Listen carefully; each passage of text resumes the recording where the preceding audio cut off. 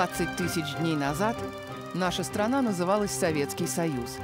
Сталин еще был отцом народа, девушки еще не носили брюки, а студент второго курса МГИМО, будущий дипломат Юрий Дубинин, еще не знал, что именно этот день он будет вспоминать потом всю жизнь.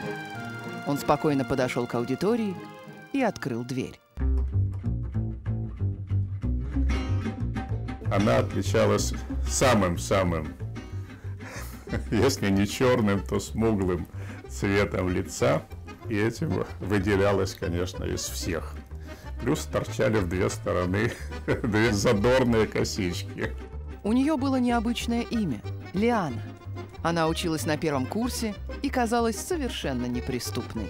Старшие курсники, которые, они сразу, когда новый курс появлялся, то они начинали ухаживать. А я знаю свой характер, что я не очень-то допущу, так сказать. Я же уходила от этих вещей. А вот парень хороший, понравился. С этого самого дня все и началось. Она была очень общительная и живая. И это придавало, конечно, особое очарование. С ним было интересно, а это самое главное. А потом я стал замечать, что у нее совершенно удивительный цвет кожи с персиковым румянцем. Потом я стал обращать на всякие другие вещи внимание. А когда она не появлялась, возникало почему-то чувство, а где же она? Мне ее стало очень-очень не хватать. Но потом, когда вот это заорганил, все, уже никого не подпускал. Я стал ее провожать до ближайшей станции метро. А потом за ближайшую станцию метро мы стали выбирать все более и более отдаленные станции. Растягивались эти прогулки по улицам Москвы. Он провожал ее тысячу раз, пока наконец-то решился. Приехал к нам и говорит, Ленош, моя мама приезжает, вот я хочу, так сказать, предложить так руку сердце и прочее. Я, конечно, с перепугу сразу расплакался. Он так сказал, ты чего, ты против? И мама моя, родители мои тоже такая. Он очень нравился моим родителям. Вот. И они так на меня смотрят. Ляна, ты что, в чем дело? Почему ты плачешь? Парень такой хороший и прочее. Вот так было. Ну, от неожиданности это просто. Я уже был, по-моему, на пятом курсе. Уже имел некоторую материальную самостоятельность.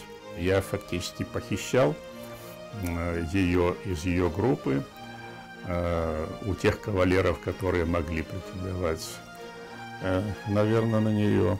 На следующий день они пошли в ЗАГС и расписались. В общем, свадьба была хорошая. Приехали мои родители из Ростова, приехала моя тетя из Ростова. Свадьба была такая, по тем временам, молодежная. Ребята были Поселились, танцевали, плясали. И, в общем, мы были очень довольны, красиво и хорошо. Отпраздновали мы эту свадьбу. Это только сказки заканчиваются свадьбами. В жизни со свадьбой все только начинается. Умер Сталин. Страну возглавил Хрущев. Началась оттепель. Юрий Дубинин защитил диплом.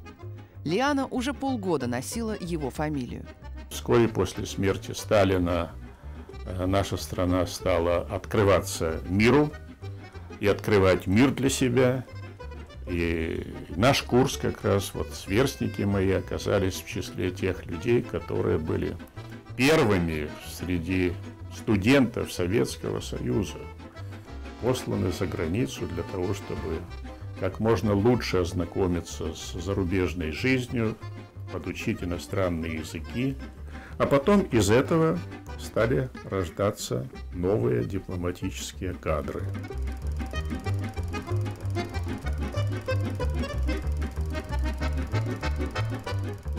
Лиана осталась в Москве. Она заканчивала институт и ждала возвращения мужа. Стажировка закончилась, но Юрий не вернулся. Какое-то время прошло, ребята оттуда приезжают, а я все жду, когда Юра приедет.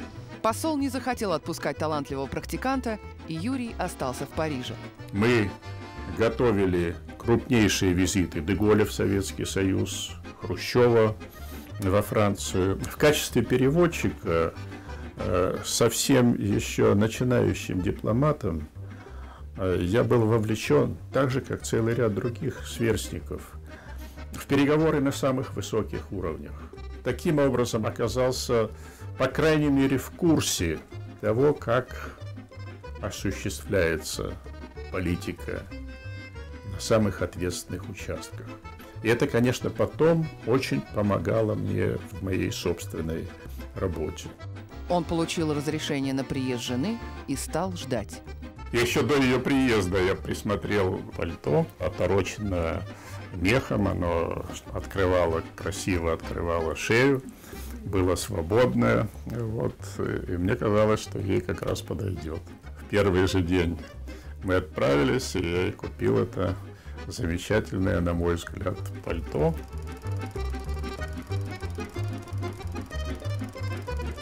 Она, несомненно, нравилась моим коллегам и вызывала самые высокие отзывы своей красотой. Париж не зря называют городом любви. Через несколько месяцев Лиана поняла, что ждет ребенка. Это была катастрофа. Лиана страдала тяжелым пороком сердца, и иметь детей ей было категорически нельзя. Меня волновал не вопрос о том, э, может ли она иметь детей или нет. Меня в первую очередь волновал вопрос о ее здоровье. А то, что над здоровьем у нее нависла большая опасность, это мне э, стало ясно достаточно быстро. Но у нее очень упрямый характер, и она э, очень долго сопротивлялась. Но есть люди, которые более пугливые, а есть, которые как-то, если убежден, так убежден. Предсказания были э, суровые, наблюдение было хорошее. Э, сначала во Франции, а потом э, мы переехали, она переехала сюда, в Москву. И меня положили в больницу на Калининском. А потом я, значит, говорю, там, 16 числа ребенок должен родиться. Потому что, я говорю, у меня муж вернется из командировки. Он же должен увидеть ребенка и уедет дальше. Большая э, хорошая новость была, когда сообщили, что и родилась э, девочка нормально, и Ляна выдержала экзамен. Так родилась Натулька наша девочка. После чего я ее очень попросил, чтобы больше она не экспериментировала.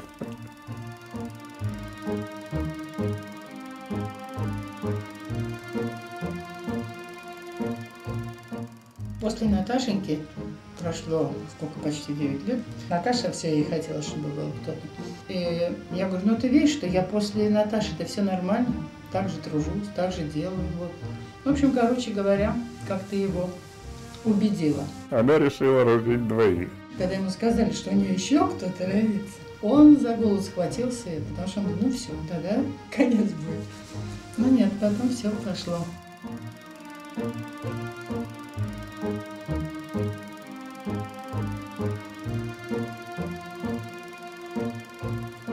Это большое достижение было и очень большой, очень большой риск. Наверное, все-таки есть судьба. Так что вот она такая упорная, упорная. Дни текли один за другим. Росли дети. Хрущева сменил Брежнев.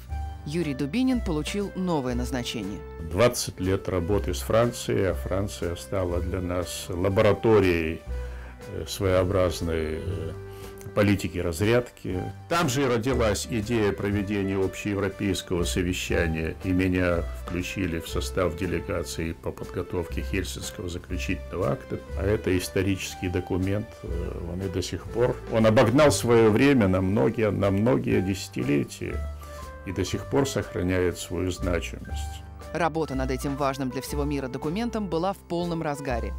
Юрий Дубинин был заместителем главы советской делегации. Весь мир ждал результатов переговоров. А Юрий ждал только вестей из дома. У меня началась проблема, мне стало тяжело ходить. Доступ крови шло плохой. Пришла когда в поликлинику. Вот там врач стал на меня кричать, вам неделю жить, а вы умрете. А я стою так, нет, я говорю, не умру. Почему я должна умереть? Действительно, жизнь ее была в самой серьезной опасности так как сердечная эта болезнь, недостаточность развивалась э, все больше и больше. Она умирала. Спасти ее могла только операция. Эти операции делали в Швейцарии, во Франции и в Штатах.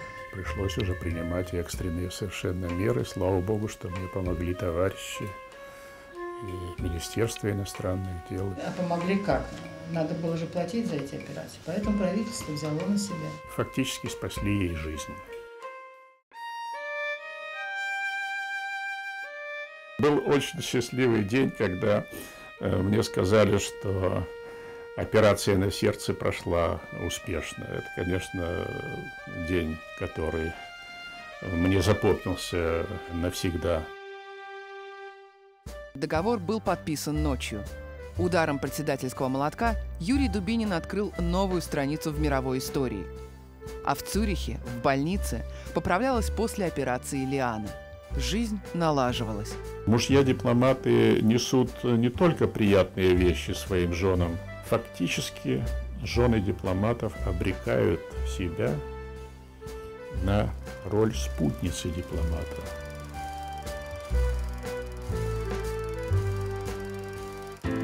Испания выходила из периода франкизма, и нужно было наладить отношения с этой страной, с которой 40 лет не было отношений. Я был направлен в Испанию, а в это время Ляна защитила диссертацию и стала доцентом Института международных отношений. Как горестно ей было расстаться с этой ее деятельностью, которая у нее шла очень хорошо, для того, чтобы, для того, чтобы вот помогать быть спутницей спутницей дипломатического работника. Посол Советского Союза в Испании и его жена начинали свою работу в Мадриде практически с нуля. В то время у нашего посольства в этой стране не было даже своего здания. Там вообще еще ничего не было.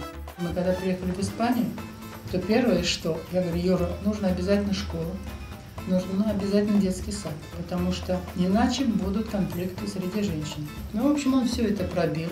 И вот так вот потихонечку просто они понимали, что они, в общем-то, не заброшенные, а как-то находятся в нормальном, так сказать, окружении. Дети Дубининых остались в Советском Союзе на попечении бабушки и дедушки.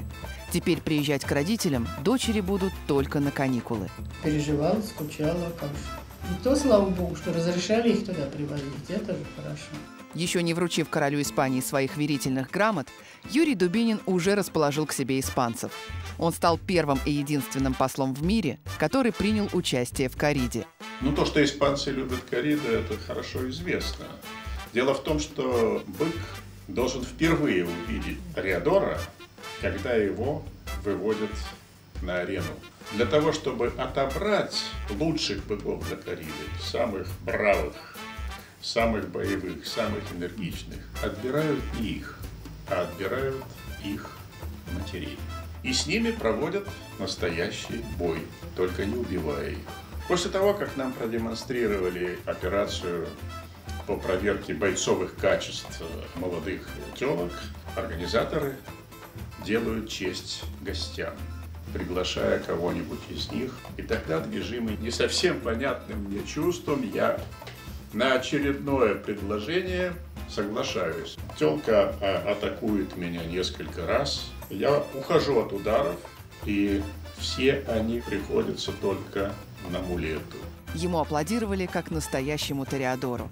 Сердца испанцев были завоеваны, а Юрий Дубинин до конца всего срока своего пребывания в стране так и остался любимцем испанских журналистов. Испанские журналисты, с которыми мы работали каждодневно и непрерывно, они потребовали, чтобы пресс-конференции, э, интервью все мы давали, я давал э, только на испанском языке. Пусть, говорит, вы будете с ошибками излагать все. Мы, но мы не хотим перевода. Какое-то время прошло, и я ехала в машине с женой мэра города Мадрида.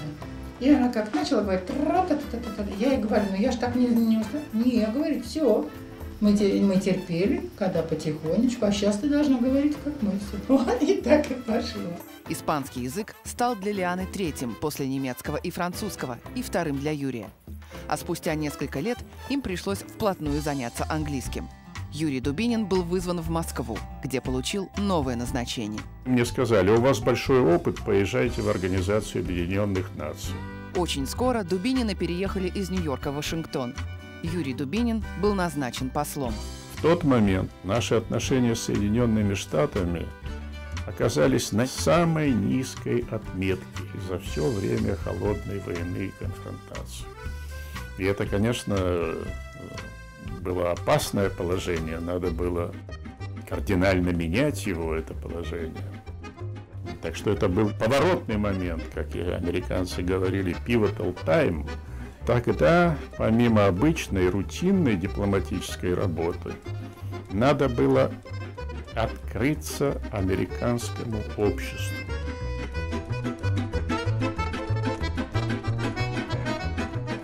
Образ э, страны, а дипломаты представляют образ страны, э, складывается как можно полнее в том случае, если перед э, общественным мнением выступает не только муж-дипломат, но и жена. А для деятельности посла это особенно важно.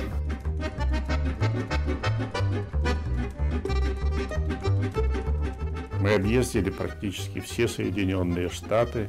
Потом американцы написали, что никогда со времен существования нашей страны э, наше посольство не разворачивало столь масштабной работы по контактам развитию и взаимопониманию с американским общественным мнением.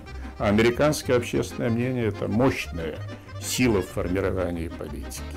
В то время про них писали как про первооткрывателей Америки. И они действительно открывали ее заново для Советского Союза. Как-то к нам приехал один э, самый большой руководитель нашего сельского хозяйства в то время. И он посетовал на то, что вот в Соединенных Штатах э, вывели какой-то э, сверхпродуктивный сорт пшеницы, и мы никак не можем получить семена этой пшеницы. Ну, естественно, что мы стали э, искать эти семена. Это оказалось совсем не так просто. Как-то в посольстве у нас был прием, и на этом приеме, как всегда, в качестве хозяйки выступала Ляна. А в конце она подводит ко мне человека и говорит, вот э, этот э, любезный джентльмен выразил готовность подарить нам полмешка этих самых семян, которые, которые искало все руководство сельского хозяйства нашей страны. Она не занимала никакой дипломатической должности, но у нее профессиональная дипломатическая подготовка и плюс э, вся та же профессиональная жизненная школа, через которую э, мы прошли вместе. Я считала, что я, в общем-то, полезна ему. Меня все время спрашивали, а почему ты в МИД не пошла? А я говорю, а женщины там делать нечего. Потому что ну, у женщин есть э, ну, по природе обязанности. Семья, дети, там, муж и прочее. И поэтому надо чего-то лишиться. Очень много. Причем делала до такой степени, что вплоть до ремонтов делала. Сколько посольств я ремонтировала. Просто не было других, кто мог бы помочь. Особенно мне запомнилась, конечно, очень ответственная наша акция, когда э, требовалось принять э, с первым официальным визитом в 1987 году главу руководителя советского государства в Вашингтоне после нескольких лет перерывов контакта такого, такого уровня. Это было событие мирового масштаба, мирового масштаба по-настоящему. И за этим событием действительно следил весь мир. Но все-то сводилось к тому, что надо было декорировать посольство, надо было соответствующим образом все подготовить в посольстве, каждую мелочь предусмотреть. И я должен сказать, что эти задачи как раз были блестящие, решены Лианой. Конечно, прежде всего важна политика страны, но политику страны выражают люди. Так что вот э, еще одна сторона. Какова хозяйка? Не просто хозяйка. К этому времени Лиану можно было уже смело назвать художником. Она всерьез увлеклась техникой Тифани. Положим, это кусок стекла, да? Вот здесь вот я вырезала, да? И вот это надо отточить, обязательно отточить. Вот так вот все, да? А потом это для того, чтобы все это соединить, как пазлсы, да? А потом это вот так вот кладется рядом. И вот с изнанки начинаешь паять здесь. Запаиваешь, потом переворачиваешь и с другой стороны паешь. Когда через четыре года Юрия Дубинина назначили послом во Францию, провожать их с Лианой пришла, казалось, вся Америка. Во Франции они проработали год. И я думал, что, конечно, на этом моя дипломатическая работа основная будет завершена, потому что я уже был фактически на пенсионном возрасте, когда вот э, ко мне опять же обратились с предложением и просьбой возглавить переговоры с Украиной. Я семь лет занимался этими переговорами и был потом послом э, в Киеве. И я думаю, что то, чем я занимаюсь сейчас, это тоже очень интересно. Это тоже требует очень большой мобилизации. Работа со, со студентами – это совсем непростая работа. Казалось бы, вот возьми и расскажи тогда. Нет, это требует большой подготовки и большой работы.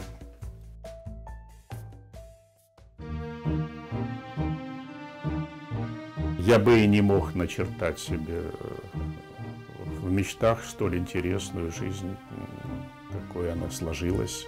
Это мне повезло, это мне повезло. Эти 20 тысяч дней, помимо всего того, что связано с деятельностью общественной, официальной и так далее, все эти 20 тысяч дней, она остается для меня, конечно, и любимым человеком, и, спутник, и спутницей, э, и товарищем, э, и всем тем, чем должна, мне кажется, быть э, жена для мужа.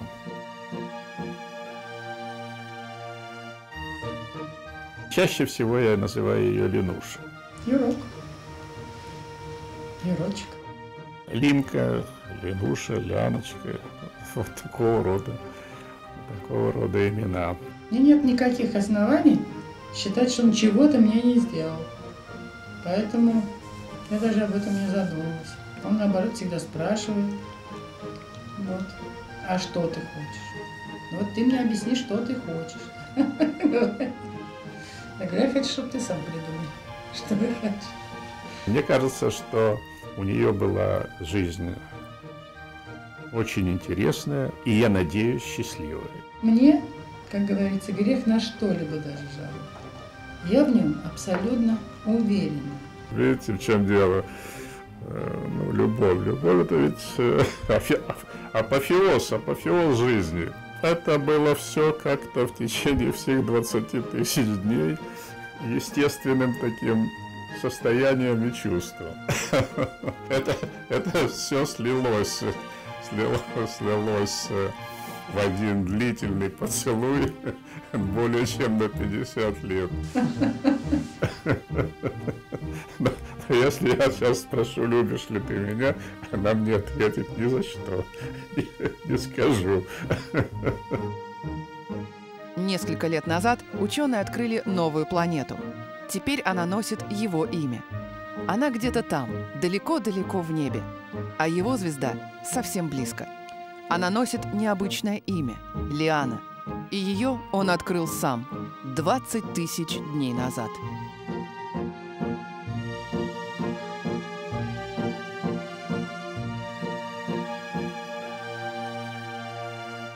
Это только сказки заканчиваются свадьбами.